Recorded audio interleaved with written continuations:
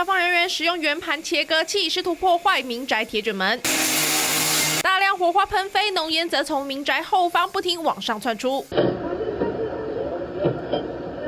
在消防人员的协助下，率先逃出火场的是住在一楼的四十七岁女子，后续还从窗户入内救出两名年仅三岁和五岁的男童。他爸爸妈妈在家吗？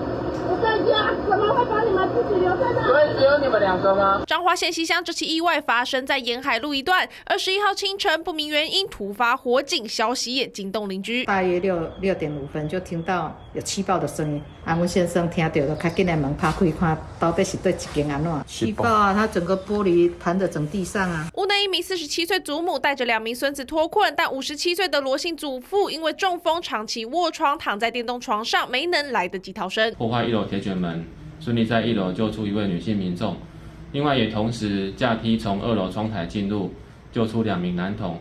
另外在抢救过程，在一楼客厅。